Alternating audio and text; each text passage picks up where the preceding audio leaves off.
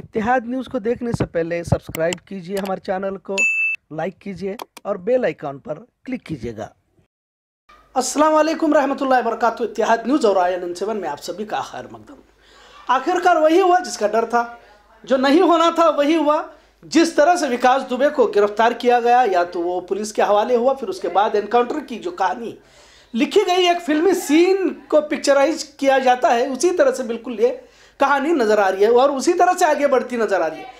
संजय दत्त की वास्तव फ़िल्म की तरह सियासी लीडर ही उसे खत्म कर देते हैं ताकि जिन लोगों ने उसे इतना बड़ा बनाया था, कहीं बाहर ना निकले। अब जब फिल्मी कहानी की तरह सब बन रहा है तो यह भी बनने में मुश्किल बात नहीं है कि असल दुबे को भगाकर नकली का ही एनकाउंटर किया गया हो। तो सवाल बहुत कुछ खड़े हो रहे हैं और जिस तरह से पुलिस ने इसे गिरफ़्तार किया और फिर कैसे गाड़ी पलट गई और फिर भागने की कोशिश, फिर एनकाउंटर बात तो किसी तरह हजम नहीं हो रही। कहते हैं, अगर विकास दुबे की गाड़ी पलटी नहीं होती तो योगी आदित्यनाथ की हुकूमत पलट जाती। कई सियासी पार्टियों ने उस वक्त कहा था, जब विकास दुबे ने बड़ी बेरहमी से पुलिस अफसर समेत दस लोगों को गोलियों से छल्ली किया था। यमान सदर असुद्दीन ओवैसी, अखिलेश यादव, गौरव वल्लभ आदि सियासी कायदों ने बड़ी सख्ती से कहा था कि जब विकास दुबे पकड़ा जाए तो इसे गोली नहीं मारनी चाहिए। इस दहशतगर्द को बनाने वाले अख्तदार पजीर हुकूमत ही है और ना सिर्फ़ एक विकास दुबे, बल्कि और कितने विकास दुबे जैसे दहशतगर्द इन सियासी पार्टियों ने बनाए होंगे। समाजवादी पार्टी के अखिलेश यादव ने यह भी मुतालबा किया है कि यूपी के मध्य प्रदेश महाकाली मंदिर उज्जैन पहुँचने वाला विकास दुबे यूँ ही नहीं पहुँचाए। लिहाजा साजिश के तहत मारा है। योगी आदित्यनाथ पर तंज करते हुए कहा कि विकास दुबे के तमाम कॉल रिकॉर्डिंग्स आवाम के सामने पेश किए जाए ताकि किसके किसके साथ इसके ताल्लुकात होने की बात सभी को मालूम हो जाए। महाकाली मंदिर में अचानक आकर अपने आप को विकास दुबे कहना और वो भी चिल्ला चिल्ला कर कह रहा था कि कानपुर वाला विकास दुबे मतलब पहले से तयशुदा कहानी का हिस्सा था। अपने आप को पुलिस के हवाले और जब खुद पुलिस के हवाले किया था तो भागने की कोशिश क्यों करता? खैर, कहानियाँ तो काफ़ी बनाई जा रही है कि महाकाली मंदिर उज्जैन से वो भागने की कोशिश भी कर रहा था, नाम गलत बता रहा था वगैरह।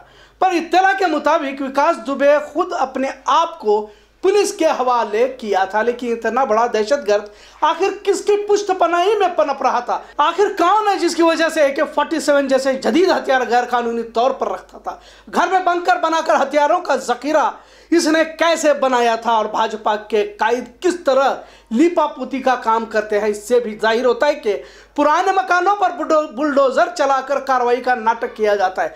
कुछ गाड़ियों को तोड़कर सख्त कार्रवाई करने की तस्वीरें मीडिया के ज़रिए पेश की जाती है। कार्रवाई के नाम पर झूठ परोसना अब हुकूमत बंद करे, आवाम को इतना तो ज़रूर समझ में आता है कि ऐसे बड़े दहशत गर्द के लिए खाद मकान और दो चार कारें कुछ भी मायने नहीं रखते। गिरफ्तारी और फिर एनकाउंटर पर अपनी पीठ थपथपाने से क्या शिवराज सिंह हुकूमत या योगी आदित्यनाथ हुकूमत, उन दस पुलिस वालों की हत्याओं की ज़िम्मेदारी लेकर, हत्याओं की ज़िम्मेदारी लेकर हुकूमत को छोड़ देंगे? क्योंकि इन्हीं लीडरों ने विकास दुबे को बनाया हुआ या तो वाकई विकास दुबे मारा ही नहीं, या नहीं गया, या तो सियासी पार्टियों की पोल ना खुले इसलिए इसकी आवाज़ को हमेशा के लिए दबाया गया सी एनआरसी हो या गाँव के नाम बदलाकर अपने आप को बहादुर समझने वाले योगी आदित्यनाथ को पिछले आठ दिन से क्यों नहीं मिला विकास दुबे? आज भी सवाल वही खड़े या तो विकास दुबे को मारकर तमाम राज को योगी हुकूमत ने दफन किए हैं, या फिर विकास दुबे अब भी फरार है। हुकूमतों के इशारों पर, क्योंकि तमाम कहानियाँ ही फिल्मी हैं और फ़िल्मों में अक्सर हम शक्ल मारे जाते हैं और असली चेहरा जुर्म की दुनिया में अपने काम अंजाम देता रहता है सियासी लीडरों के हुक्म पर। इतिहाद न्यूज़ देखने के लिए शुक्रिया। अल्लाह